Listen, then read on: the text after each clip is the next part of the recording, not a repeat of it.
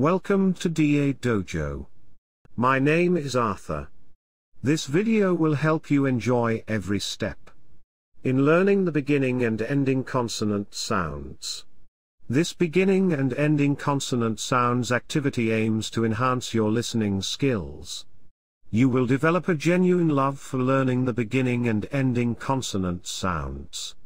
If you are ready, let's start. Reading the beginning and ending consonant sounds. Let's read the words with consonant T sounds. Thumb. A thumb. A short thumb. A thumb is the short first finger on each hand. Tent. A tent. A small tent. A tent is a shelter that is made of poles, ropes, and fabric.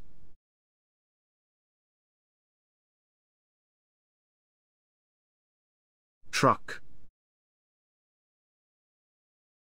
A truck. A large truck.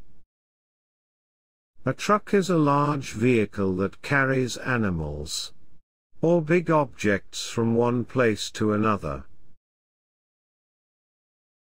Train. A train. A bullet train. A train is a set of railroad carts that move along a track.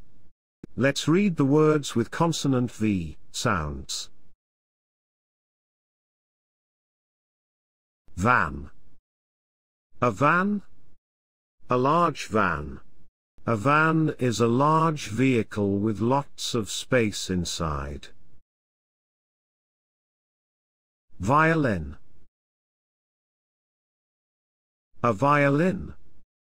A musical violin. A violin is a musical instrument with four strings that is played with a bow. Voice. A voice.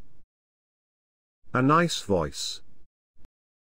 Your voice is the sound you make when you speak or sing. Vest.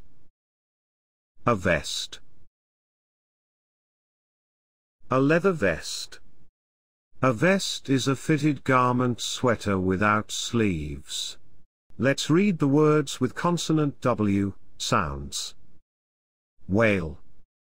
A whale. A large whale. A whale is a large mammal that lives in the sea and spouts water. Wolf. A wolf. A wild wolf.